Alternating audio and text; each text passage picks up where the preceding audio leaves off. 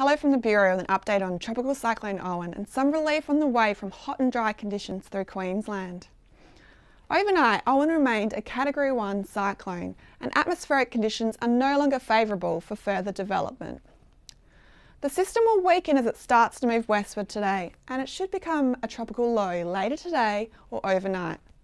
It will remain a low as it moves towards the Queensland coast later this week, but there's still some uncertainty in its longer term movement. And meanwhile, humidity has increased across eastern Queensland, producing conditions much more typical for this time of the year. Temperatures have finally eased through the south today, but it still remains hot in the north. We could see severe storms over central districts, the Wide Bay and the tropical inland today.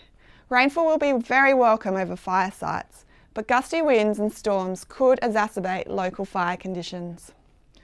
On Wednesday, southeasterly winds will freshen along the coast in this squeeze between the ex-cyclone and a building ridge of high pressure to the south. Temperatures will ease further through most of the state and heavy rainfall is a risk along central and northern parts.